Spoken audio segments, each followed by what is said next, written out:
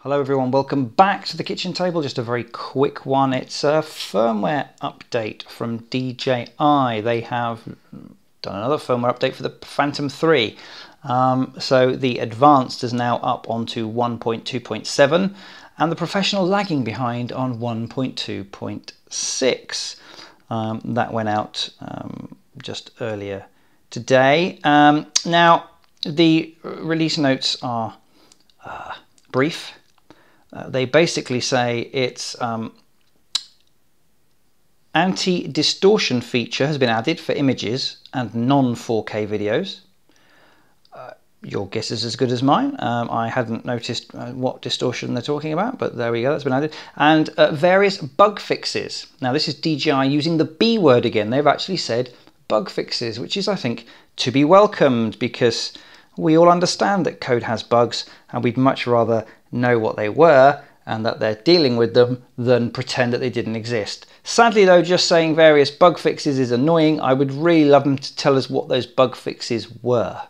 Um, you know, it can sometimes help you to avoid getting into a situation where the bug might turn into something a bit more than just an inconvenience. But there we go. Um, so um, I've heard from a couple of extremely brave early adopting subscribers that they've uh, they've already up, upgraded, updated the software, sorry, the firmware on their uh, Phantom 3. Uh, one quote I had was, "It took about 20 minutes, and the gimbal kept doing a funky little dance all the way through."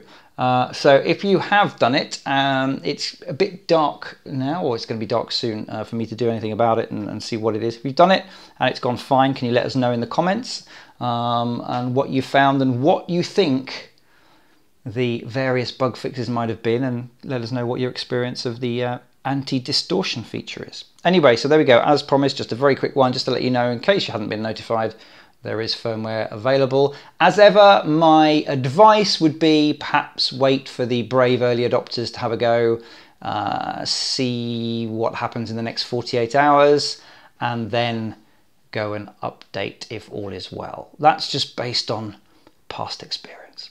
Anyway, thank you very much for watching this brief update, and uh, I will see you again soon back on the kitchen table. Until then, cheers.